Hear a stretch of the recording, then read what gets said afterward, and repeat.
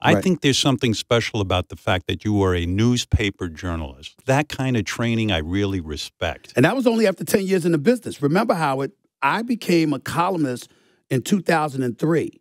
Back then, there was no social media. And so Right. before then, if you remember, you could write features, you could be an investigative reporter, you could be a beat writer. Only columnists had the license to express their opinion.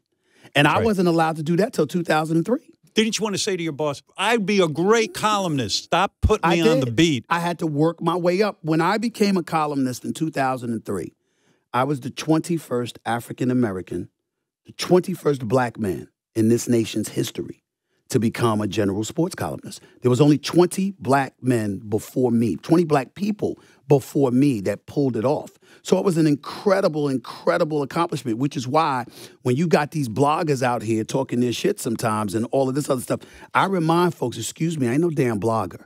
I worked my way up to get to this point.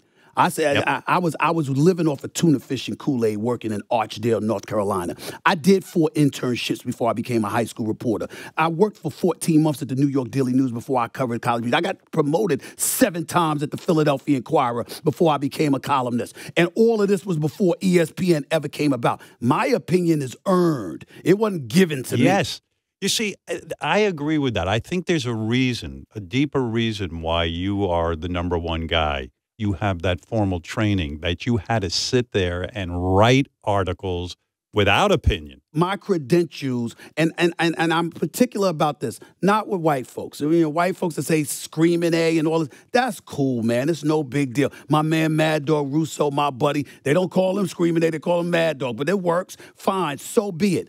But when black folks don't embrace what folks are trying to do and fend that off, that upsets me because I am somebody that's trying to set a path for future folks on the come up from my community to be in this position one day.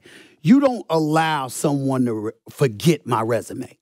You if you're a black person, all of these jobs that I had, all of this work I put in, all of these sacrifices I made, you're going to let somebody come to me and say, "Oh, he just screams," without while, while forgetting all the stories that I broke, the dominance that I exhibited covering the NBA, and the way I built my career over a span of 25 plus years. You're just going to let them forget that? If they forget my resume, what are they going to do to your resume? Doesn't it drive you nuts when someone says, "Oh, Stephen A. Smith, well, he's just a rich asshole. He doesn't know what it's like in the hood. He doesn't know this shit."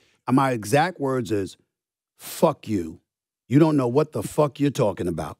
You're Right. clueless. Look at my resume. Google me as Shaq would say. Google me. It's all there.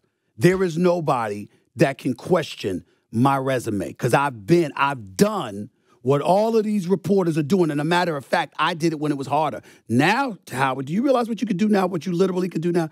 You could sit back and wait for players to tweet Right. and just take a quote off of social media and write a damn article. You don't have to break stories. I had to break stories.